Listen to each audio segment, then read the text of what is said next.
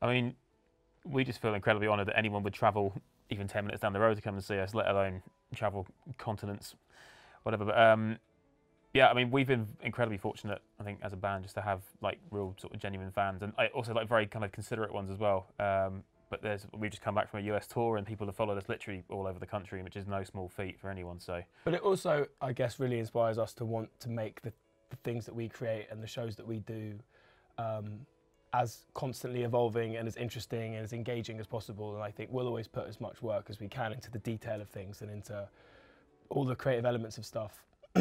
so it's rewarding for those people who want to come back again and again.